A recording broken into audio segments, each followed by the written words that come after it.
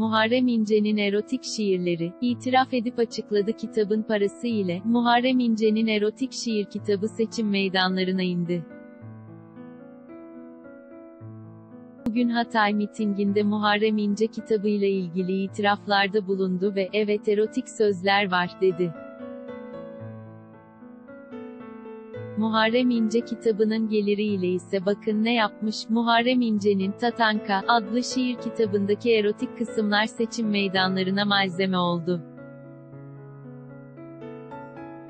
İnce şiir kitabını eleştiren Erdoğan'a bugün Hatay mitinginden yanıt verdi. Şiir kitabında erotik sözler var. İtirafında bulunan Muharrem İnce, sana mı soracağım cahil adam? Sen Necip Fazıl'ın şiirlerini oku da yok erotikmiş oymuş buymuş, dedi. Kitabın parasını ne yaptı? Muharrem İnce erotik sözlü şiir kitabının geliriyle Yalova'daki bir okula fen laboratuvarı yaptırdığını açıkladı. Hodri Meydan ekrana gel. Muharrem İnce televizyon programında Cumhurbaşkanı adayı Recep Tayyip Erdoğan ile düello içinde meydan okudu. Meydan D O L U Y S A S E V I N I R S I N çatı D O L U Y S A Muharrem İnce Hatay'daki miting alanını dolu görünce de şu yorumu yaptı. Deneyimli bir siyasetçi diyor ki, meydan doluysa sevinebilirsin, balkonlar doluysa iş iyi demektir.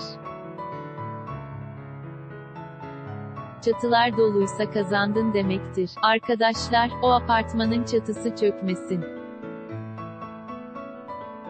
Aman dikkat edin, Muharrem İnce'nin erotik şiirleri, Muharrem İnce'nin Tatanka isimli şiir kitabında bazı satırlar erotik olarak nitelendi. Karışık bir şiir başlıklı şiirindeki sevişme, öpüşme, mastürbasyon satırları öne çıkarken kadın kokusu şiirinde ise, memelerin alal olsun, dökeyim kağıdın üstüne, satırları konuşuldu. İşte o erotik şiirleri, Muharrem İnce'nin, Leylek Bacaklım, isimli şiirindeki okşamın, sarılman, delişmen sevişmen satırları erotik olarak nitelenirken, Tatanka şiirinde, öp beni ta küçük dilimden, satırları eleştiri konusu olmuştu.